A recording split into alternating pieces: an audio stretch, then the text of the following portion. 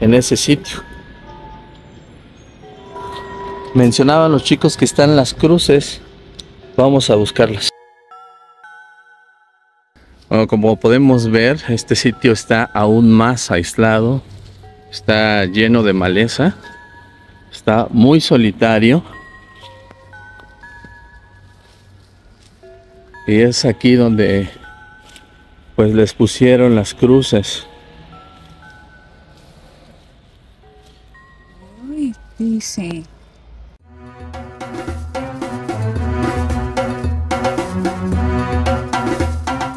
Ah, Marco, Marco Julio de Jesús. 1992, 2009. 2009. Ah, pues estaban bien jóvenes.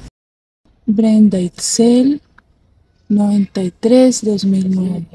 Habíamos mencionado que eran primos porque si ustedes pueden notar, pues eh, Tienen el mismo apellido. tienen el mismo apellido precisamente, Castrejón. Sí. Y también Brenda Castrejón tiene. Castrejón. Estas son las cruces, pues de estos dos chicos. Qué lamentable suceso. Qué terrible historia, porque si vemos este lugar, está completamente aislado. Ahora en la, Está súper escondido este lugar, o sea, no. en la oscuridad, Sí, en este sitio. noche. Y entonces ellos estaban aquí. Después de que salieron de la escuela de un examen, vinieron hasta este lugar y aquí fueron sorprendidos eh, por alguna persona o por algunas personas. Como ya les había contado, pues la mayoría aquí en Toluca cree que no se hizo justicia y que las personas que les quitaron la vida siguen sin ley, siguen sin ser castigados y muchos acusan a los policías. O, obviamente en el 2009 eran otros guardias, no lo sabemos.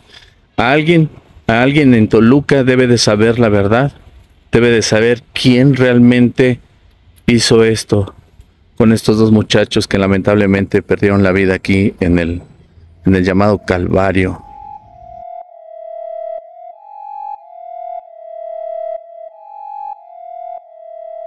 A donde te enseñé estaban los cuerpos. Pero aquí pudo haber sucedido todos los hechos. Ellos eran dos chicos de 16 años. Bueno, estamos aquí en la cruz y acabo de notar algo. Miren, hay una pulsera. Sí. Puede ser que sea la pulsera de, de Marco. Y de ella. Oh, ella también tiene. Sí. Ay, qué triste. Dice Politécnico, seguro si era, era una pulsera de ella y una pulsera de Marco. Sí. Mira, hasta les pusieron sus, Sí, sus cositas. exactamente sus escapularios.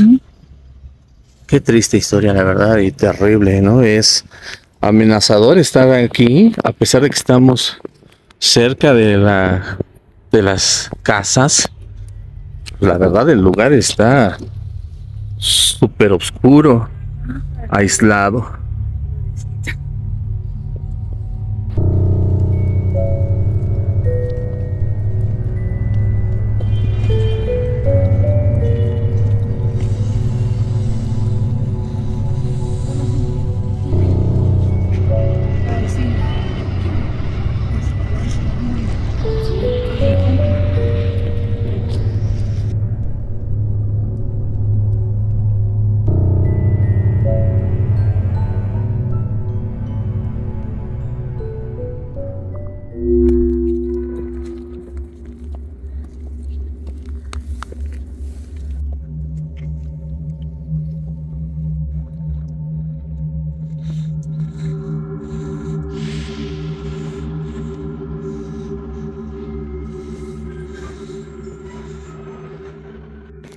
Está bien cansada la subida. Uy, bastante. Vamos, vamos, ya casi llegamos a la cruz. Aquí vienen a hacer ejercicio. eh, les ayuda muchísimo porque está pesada la subida. Vamos ahora a la cruz. en donde también pues es un mirador. Podemos ver lo que es Toluca y miren desde aquí se puede ver el estadio Nemesio 10, la casa de los Diablos Rojos del Toluca. Ahí está. Y tenemos a un lado la Teresona, es ese cerro en donde también se cuentan muchas historias, tesoros, brujas y demás criaturas del bosque. También desde aquí podemos observar lo que es la cabeza de Adolfo López Mateos, que es eh, CEU, Ciudad Universitaria. Se encuentra ahí. Y acá se encuentra el centro de Toluca. Aquí vemos la catedral. Esa es la catedral de Toluca. Acá tenemos el teatro Morelos. Es este que se encuentra aquí. Ahí dio conferencias Jaime Maussan sobre los no humanos, diría él.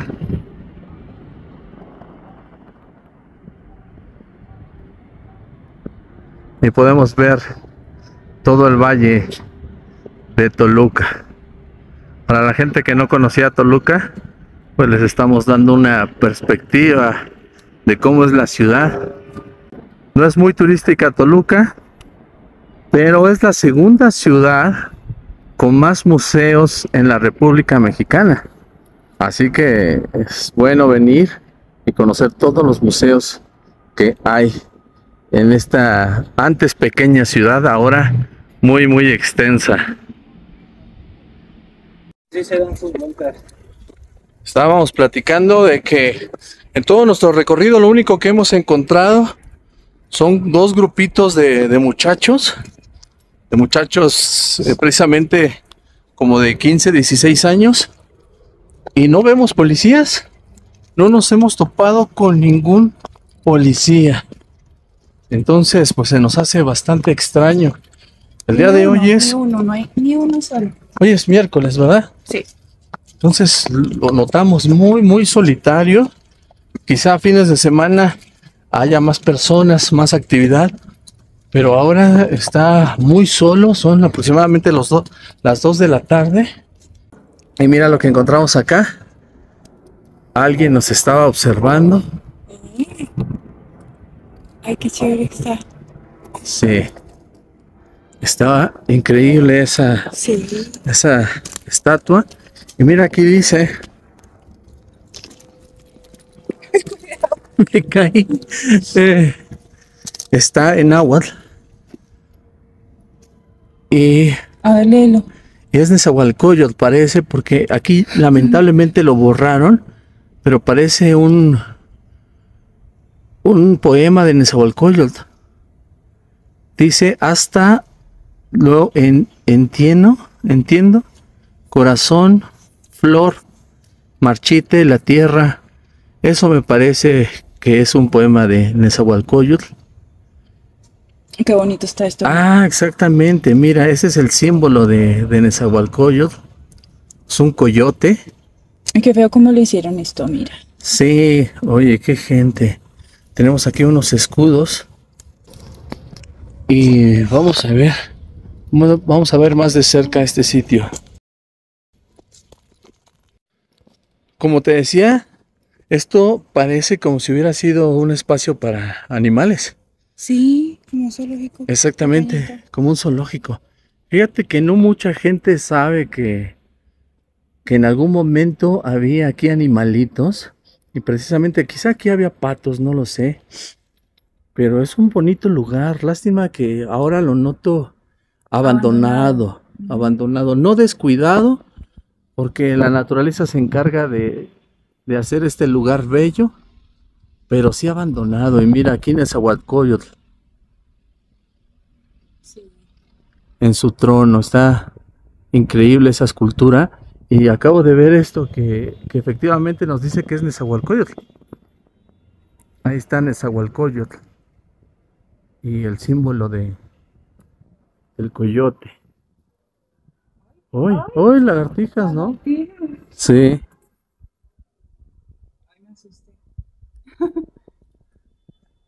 Acá también, mira, había como un escrito.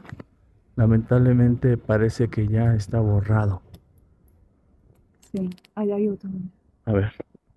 otro. Ah, es verdad, aquí hay otro. Mira, aquí seguramente había otro animal. ¿Será que allá había una... Mira aquí. Ay, mira, sí, efectivamente. Ese ¿Como parece, se rompió? Sí, ese parece el emblema Sí. de Toluca, que es el dios Tolo. Podría ser. ¿Se lo llevaron? ¿Será? Le- como que le no partieron a la mitad, claro. No está el otro pedazo. Sí, no está el otro pedazo. Ay, tan bonito que hubiera sido así con agua. y- Sí, yo creo que este lugar lo pueden remodelar, ¿eh? Porque está increíble para que la gente lo disfrute. Es un pulmón de la ciudad y está bellísimo, pero sí, abandonado, abandonado. ¿Qué dice? Ah, mira, vamos a ver. Dice, dice, toda la tierra es una tumba y nada escapa a ella. Nada es tan perfecto que no caiga y desaparezca. Lo que fue ayer ya no es hoy y lo que vive hoy no puede esperar. Se, esperar, no puede esperar ser mañana, debió decir esperar a ser mañana. Ay, ¿qué pasó ahí? Una persona. Ay, me asusté. Yo también. Dije, oh, Oye, un fantasma. Si te das cuenta, desde que empezamos el recorrido hemos encontrado como puros mensajes de muerte. Sí. Lo de los gises, lo Y del... esto me parece como muy triste, ¿no? Toda la tierra es una tumba y nada escapa a ella. Pues sí, está bien triste ese mensaje. Sí. Nezahualcóyotl hacía poemas muy nostálgicos, muy, muy de muerte. A él le preocupaba, al menos en lo que podemos leer de su poesía, le preocupaba que no iba a permanecer en la tierra, que quizás su nombre, quizá Sí. su, su ser desaparecería. Es la fecha y sigue siendo uno de nuestros personajes mexicanos más importantes de la época prehispánica, pero no, no para siempre aquí, dice en, una, en uno de sus poemas. Quien dice, por más perfectos que seamos, no somos nada. Desapareceremos, Desapareceremos. desapareceremos.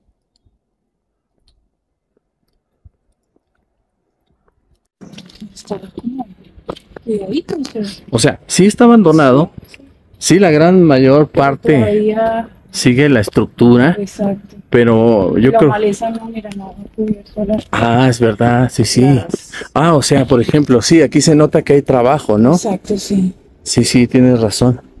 Que, que limpian. Y es que limpian también en algunas zonas porque estamos entrando al territorio donde los evangelizadores llegaron en la conquista y se establecieron aquí en la cima de lo que pudiera haber sido un adoratorio. Ahora también lo es, pero católico. Y hasta acá arriba se encuentra esta iglesia. Vamos a ver si podemos entrar. Y mira, tiene, hay una hasta bandera gigantesca. Sí. Lástima que no esté la bandera. Ay, se hubiera visto bien bonito. Impresionante, claro. Mira, gigantesca. Y acá tenemos la iglesia. Vamos hacia allá.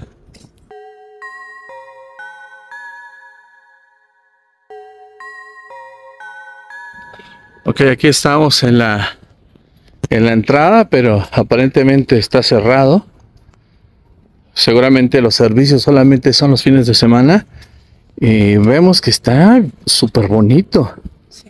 Muy cuidado. Uno no pensaría que estando allá abajo, en los lugares más oscuros y solitarios, de pronto a unos pasos te encuentres un lugar tan cuidado, tan bonito. Y vean esta escultura. Esta escultura de Jesús resucitado.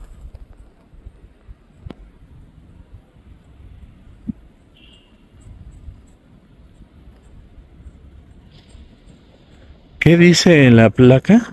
Dice, dice, créenme, mm, créenme, es que no veo por las plantas, A ver, no va. morirá A ver, vamos a su alma, algo así. A ver, vamos más de cerca. El que cree en mí no morirá para siempre. El que cree en mí no morirá para siempre. Qué raro, lo- te digo que todo lo que hemos estado leyendo habla sobre la muerte, ¿no? Sí, No me imaginé que cuando viniéramos aquí sí. hubiera tantas señales de... Pero mira que cuando muerte. estábamos allá abajo, sí se siente como un ambiente todo como triste, ¿no te no, no sentiste como, Sí, frío. como frío, triste? Mira el tipo de escultura. Esto es... Eso no es bronce. Ay, no, sí. sí es bronce, sí es ¿no? bronce, sí. Wow. Esto ya es yeso, pero esto es bronce. Ven bonito. Wow.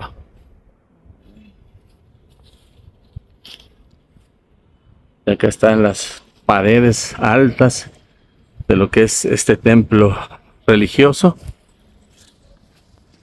Y vamos a ver qué más nos encontramos en esto que es el Calvario de Toluca.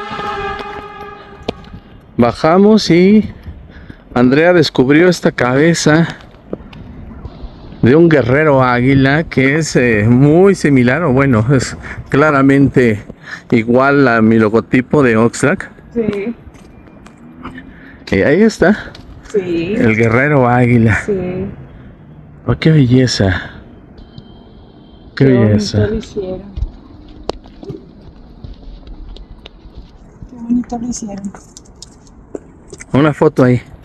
Ponte ahí una foto. Exacto. ¿Nunca habías venido a este museo, chichas? No. Entonces, ¿a qué venías al Calvario? Otros deberes. ¿A otros deberes? O sea, que ahorita que venimos sí te recordó algunas cosas. Sí. Los kioscos. En los kioscos. Vamos a conocer el Museo de Ciencias Naturales. Mira, parece que sí está abierto.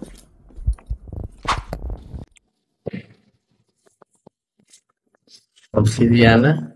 Mira, con esto se hacían las flechas de las herramientas con la obsidiana. Como tenía filo, ¿no? Sí.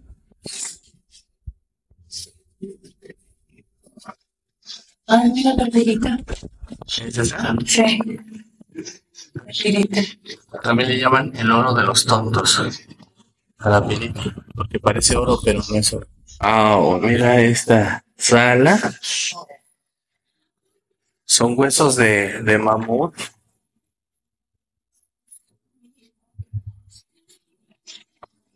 Ahí tenemos a los mamuts, mamuts lanudos. Y mira un huesito, estos huesos eran este Ah. parte del dedo chiquito. No, no es cierto. Sí, este. Dice dos, número dos, mira dónde es. Ah, sí, es el dedo chiquito del pie. O sea, este, mira. Es ese, No. esos dos huesos, uno y dos, son estos. Imagínate cómo estaba de Ay, no. gigantesco. No los informes mal. Entonces, ¿cuál es? Este Ajá. Es el número dos, el húmero. Ah, Número dos. ahí les faltó la N, me se equivocaron nosotros. Le pusieron un H en lugar de la N. No es cierto. Claro. Y mira, allá el número dos a donde pertenece el hueso. Ah, sí, sí. Ay, sí, Exacto. el dos. Ah, acá están las mandíbulas. Mira qué dientotes. Mira eso. Mira, una muelita. Sí, son molares. Y ese es el número uno, mandíbula. Esa es la mandíbula. Y hay tres. Oye, imagínate cómo se comían a los hombres de la nieve. No. Los masticaban. De, un- de una sola mordida ya los. No, pero no comían hombres la nieve. comían pastito.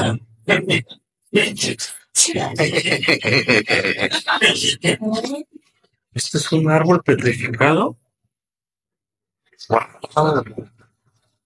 Oye, mira, sí, obviamente sí. Si pasamos corriendo, pensamos que es una piedra. Yo pensé que era una piedra. Sí, bueno, pues es ahora una piedra en realidad, pero es el fósil de, de un árbol. ¡Wow! Quedó bonito. Como que, no, estos son los huesos, son sus huevos. Sí, y estas dicen que son chiches, pero estas son de agua, mira, gigantescas. Gigantescas. No, yo veo eso y me desmayo. Luego la gente se espanta con las cucarachas. Mira esta madre. Con cuernos y todo. Dinosaurio de cucaracha. Ay, los, sí, los que tienen las tenazas más chiquitas son venenosos. Porque al, al no tener fuerza en sus tenazas, producen más veneno y entonces los hacen más peligrosos. Y los que tienen tenazas más grandes, como este, son menos, menos dañinos, menos. Uy, las arañas. Bueno, estas no me dan miedo. Me da miedo esta, por ejemplo, esta sí me, esta es una araña lobo, me parece. Esas corren muy rápido, estas Sí. me dan mucho miedo, sí.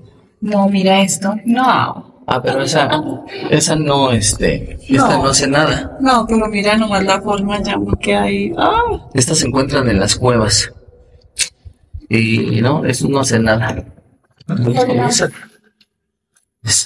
No, me sale uno de esos en la noche. escolopendras.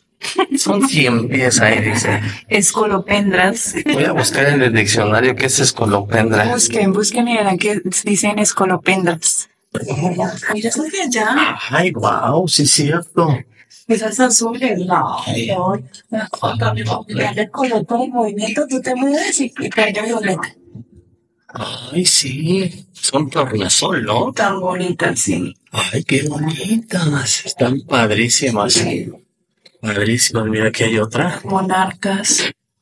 Las monarcas. Ay, qué chévere cómo las conservan. Hay unas de alas transparentes, pero yo creo que aquí no hay. No está, Sí. pero sí hay una de transparente.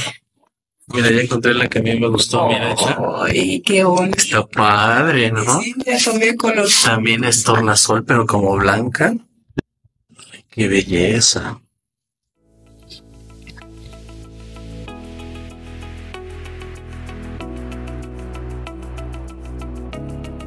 Ahora, increíble, mira. Ay, qué bonitos como los hacen. Mira, mamón, está increíble. Pero uno tan bonito. Mira esto qué es. Es como un perrito ese. Es como un perrito. Es como un perrito. Ay. No, esos colores, qué chévere. Parece un perro. Sí, es un perro. Y mira acá, esto que es una serpiente, ¿no? Sí. Una serpiente. Esta es una técnica que lo que hacen es inyectarle color a los huesos. Y por eso se ven así de color rojo. Esto es parte de la taxidermia. Uy, mira este camaleón. Se ve bien bonito. Está padrísimo, ¿no? Wow. Esa técnica se llama diafanización y dice técnica para conservar los cuerpos de animales vertebrados. Primero vuelve transparente los tejidos blandos del cuerpo y luego pinta los huesos y cartílagos ayudándolo a visualizarlos para su estudio. Oh, Diafanización. Está bien.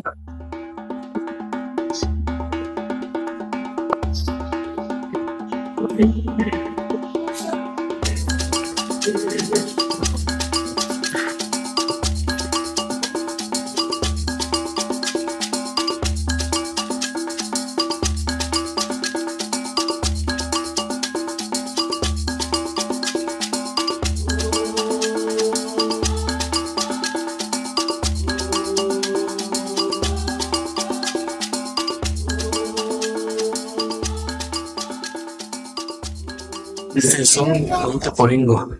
Este es ese animalito. Sí,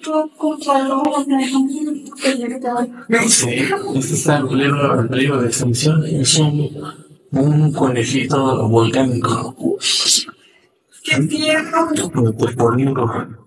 Está bonito. No, no, no, eso es que me da uno ganas de llevárselo a la casa. Está bonito. Bueno, eso ha sido el Calvario de Toluca Nos encontramos en el último punto, ya hemos dado la vuelta y atrás eh, de Andrea está un reloj de sol. Lamentablemente le quitaron la varilla, pero con esa, esa varilla podíamos saber la hora. Es muy interesante cómo funciona el reloj de sol. ¿Qué te pareció? Pues toda esta travesía en busca de misterios, mamá. Bueno, me pareció el museo muy interesante, muy bonito. Eh, todo el lugar me pareció muy bonito, pero también la historia de los dos muchachos sí me pareció muy triste. Y pues tengan cuidado los que vengan, eh, porque sí es un lugar muy solo, y me imagino por la noche. Pero de resto, muy interesante y muy bonito. Pues yo creo que si uno viene a correr o a caminar en pareja o a los juegos, etcétera, pues no, no pasa nada. Pues es mejor con, venir con muchas personas, ¿no? Con más personas, ¿cierto? En los fines de semana, pues aquí hay, hay bastantes y también la, la iglesia está dando su servicio y hay mucha más actividad, pero entre semana sí nos pareció solitario, entonces pues si van a venir a disfrutar el parque, pues solamente por los lugares, por los accesos y los caminos trazados. Porque ya vimos que si te desvías del camino, Sí. es donde encuentras los lugares oscuros, tenebrosos y trágicos. Vamos a seguir en búsqueda de más misterios acá en México y espero que les guste. Si ustedes tienen algún misterio cerca de, de su poblado, de su ciudad, de su colonia, cuéntenoslo para que podamos ir y grabemos. Y también dejen en los comentarios cuál fue la parte que más les gustó. Eso es muy importante, ¿verdad? Que nos dejen en los comentarios Sí. qué parte les gustó más. Sí. Bye. Nos vemos en el siguiente video. ¿Cómo se llama? Eh, Buscadores del misterio. Eso. Bye.